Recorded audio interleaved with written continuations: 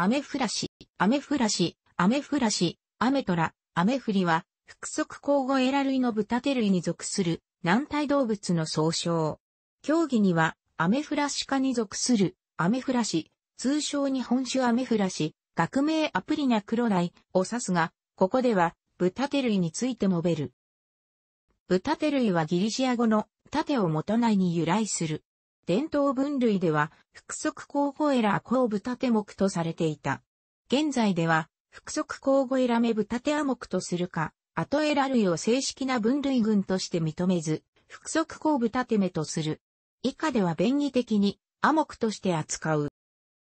海産の軟体動物で、他のアトエラ目と同様に外見上は、貝殻は退化しているが、背中の外頭膜の内部には変形した板状の殻を持つ。ただし、バーセテラズオクトスタイロケラス属は、貝殻が完全に消失してる。アトエラメ、旧分類語エラー項の中では、海牛を代表する、裸エラー目、裸エラメやクリオネが属する、裸角翼側ア目、裸角翼側目が禁煙である。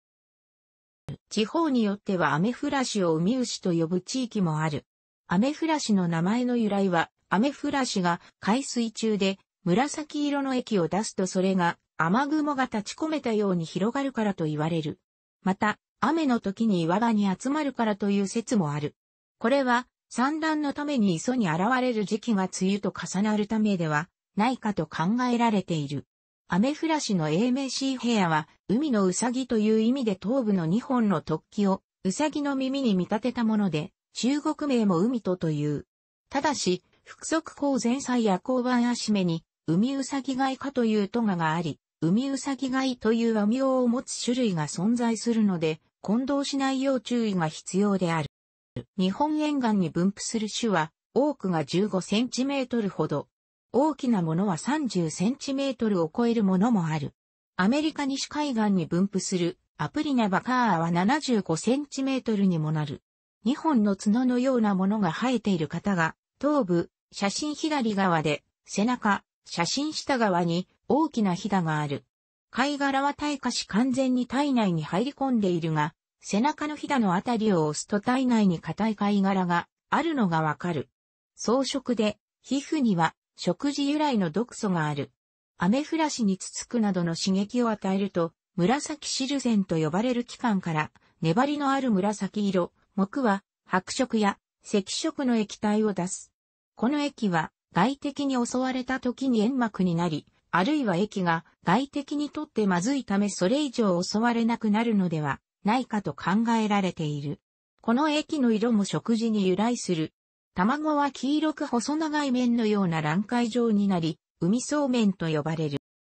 普段は水深1から3メートルほどの浅瀬を這い回り、海藻類を食べている。食事が不足してくると、自分で穴を掘って餌を探す。嗅覚が発達しており、触覚で弱い匂いも感じ取ることができる。私有動体で頭の方にオスの生殖器官を、背中にメスの生殖器官を持つ。前方の個体のメスの器官に後方の個体がオスの器官を挿入するといった形で何個体もつながって交尾する。このような交尾形態は連鎖交尾と言われる。春から夏にかけて繁殖のために磯に現れる。一匹が産む卵は数万個で黄色く細長い面のような卵塊状である。卵は約2週間で孵化し、プランクトンとして海中を泳ぎ回った後に海底生活をする。寿命は1から2年。二乗化二化の2グループに分かれる。一般的に身は食用にしない。卵は海そうめん、海そうめんと呼び、食糧難の頃などは食用にされたことはあるが、美味しいものではなく、毒性の問題もあり、通常は食用とされない。現在食用とされている海そうめんは、海藻で紅もずく科の構想を指し、アメフラシの卵と混同されているが、全く別のものである。また、島根県の沖島や島根半島、鹿児島県の徳之島、千葉県いすみ市、旧大原町、鳥取県中西部などでは実を食用にする。沖島では、ベコと呼ばれる。産卵期の春から初夏に採取して、匂いが強い内臓を除いて湯がき、冷凍しておく。調理は刻んで柚子味噌和えなどにする。身自体は無味に近く、酒のつまみなどとして食感を楽しむ。ただし、アメフラシが毒を持つ海藻類を食べているとその毒がアメフラシに蓄積されている可能性があるため注意が必要。食用している海域では毒の元となる海藻類がないとされているためクエセが気候変動等により海藻の食性が変化している可能性もある。味はほとんどない。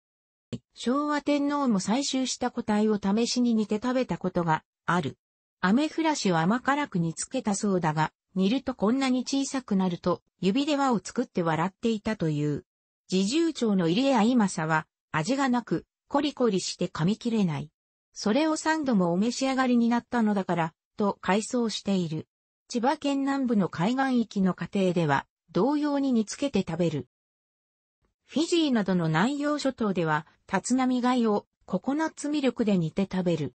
アメフラシの神経の細胞体は、直径200から1000マイクロメートルと哺乳類の10倍の大きさである。これに対して、ヤリイカは軸索が大きい。その神経回路が単純であることから、生物学において、神経生理のモデル生物として用いられる。特に危険を感じるとエラを引き込み、慣れると引き込まなくなるという反射行動は、記憶、学習の基礎研究の発展に貢献した。コロンビア大学のエリック・カンデル教授は、アメフラシを使ってシナプスが変化することで記憶が形成される仕組みを明らかにし、2000年にノーベル生理学、医学賞を受賞した。